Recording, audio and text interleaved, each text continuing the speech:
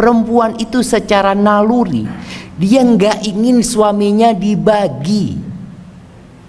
Maka itu hal yang lumrah gitu loh. Asalkan dia tidak menolak hukum poligami enggak. Anak tahu Ustaz.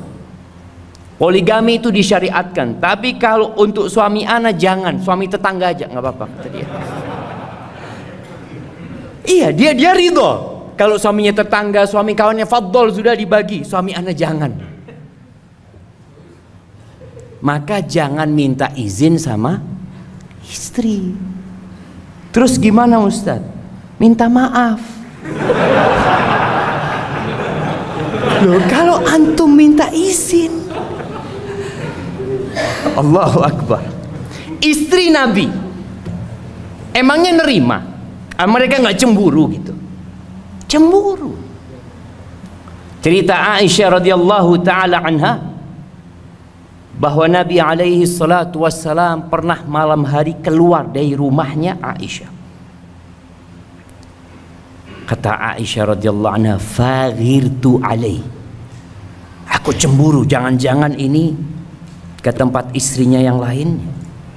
Sampai keluar Aisyah itu dari rumah Nabi, diikutin Nabi SAW. Ke mana?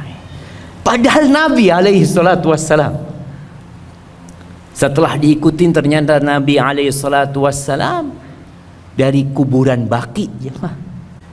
Singkat cerita Nabi pulang mendapati Aisyah di rumah ngos-ngosan. Karena habis mengikutin suaminya alaihi salatu wassalam. Lalu Nabi berkata kepadanya alaihi salatu wassalam, "Malaki ya Aisyah?" Aghirti. Ada apa sama engkau? Engkau cemburu. Fakultu wa mali la yagharu mithli ala mithlik. Gimana nggak cemburu seperti kepada orang seperti engkau yang punya istri banyak gimana nggak cemburu gitu loh. Faqala Rasulullah SAW laqad ja'aki syaitanuki. Telah datang kepadamu syaitanmu Aisyah. Jadi ada kecemburuan yang dari setan. Tapi ada kecemburuan yang memang naluri manusia. Ini istrinya Nabi bayangin.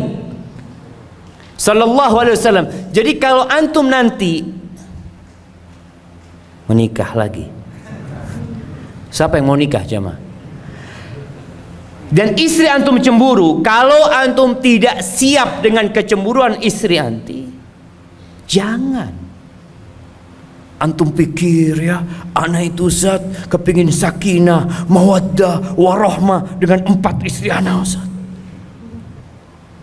Semua ingin seperti itu. Emangnya di rumah tangga Nabi SAW nggak ada keributan? Ribut, piring pecah di rumah Nabi SAW. Bayangin bagaimana Nabi SAW lagi di rumahnya sama sahabat-sahabatnya. Tahu-tahu ada salah satu istri Nabi yang kirim makanan. Kirim orang. Ketika Aisyah radhiyallahu taala melihat itu piringnya fulana ditampel sama Aisyah sampai jatuh itu piring piar. Nabi marah sama istrinya. Enggak.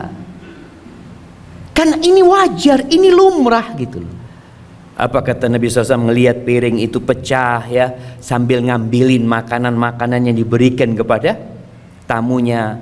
Beliau alaihissalatu wassalam mengatakan gharat ummukum ibunda kalian lagi cemburu. Lagi cemburu. Nabi gak marah sama Aisyah. Tidak membentak istrinya mengatakan engkau mempermalukan aku di depan tamu-tamuku. Lah itu hal yang lumrah. Maka antum harus siap jemaah menghadapi kecemburuan.